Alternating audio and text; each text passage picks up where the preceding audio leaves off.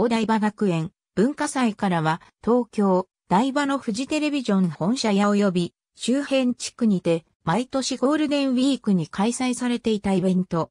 2005年から2008年まで4年間にわたって開催された。2005年のゴールデンウィークにスタート。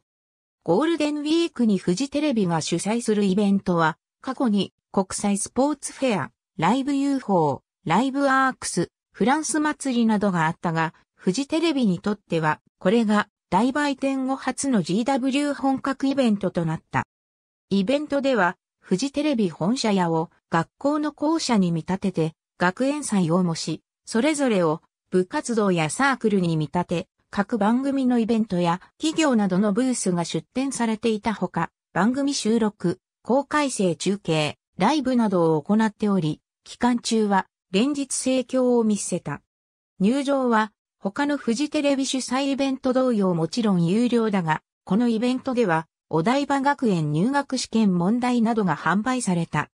2009年は、フジテレビの広告収入減などの理由により、開催されず、結局、お台場学園は事実上4回限りで、並行する形となった。その後、1年置いて、2010年4月29日より5月5日まで、同じフジテレビ本社屋を会場とした食関連イベント、お台場グルメパーク GW は、GW が開催された。なお、2014年より新たな GW イベントとして春フェスが開催されており、これが事実上、お台場学園の後継にあたる。ありがとうございます。